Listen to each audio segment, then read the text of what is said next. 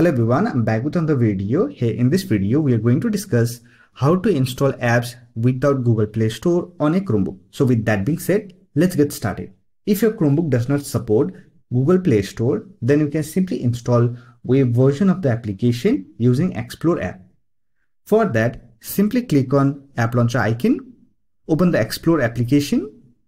Here click on Apps and Games and here you'll find all the apps and games that are optimized for your Chromebook.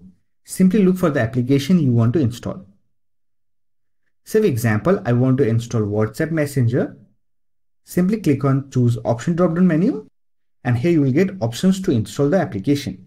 If your Chromebook does not support Google Play Store, then this option will not work. However, you can still install web version of the application by clicking on install from web option.